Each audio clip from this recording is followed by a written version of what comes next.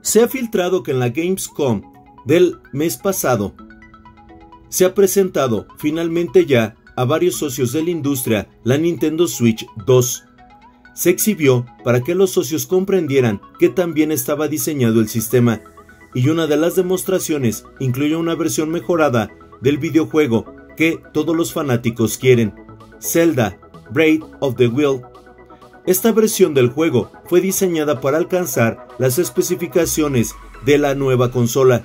Sin embargo, es importante señalar que solamente se trató de una demostración técnica. No hay confirmación hasta este momento de un posible lanzamiento para la nueva consola.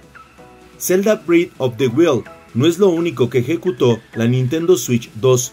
Durante la demostración técnica, además, Nintendo mostró el rendimiento del hardware con una demostración de The Matrix Awakens Unreal Engine 5 y si recuerdas, esta demostración técnica se lanzó originalmente para mostrar el poder de procesamiento de la Xbox Serie X y el PlayStation 5. Si recuerdas, Nintendo presentó patentes para esta tecnología de mejora de inteligencia artificial en marzo de 2020.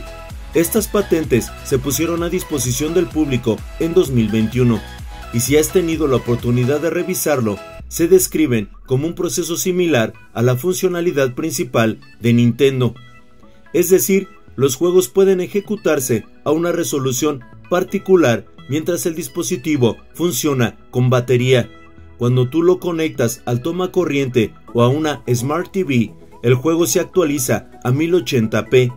Ahora, para aquellos que se lo pregunten, Nintendo aún no ha anunciado públicamente sus planes con el Switch 2 pero todos los analistas en la industria refieren que la Switch 2 será lanzada para la Navidad de 2024. Gracias por tu atención y que tengas un extraordinario día. Hasta pronto.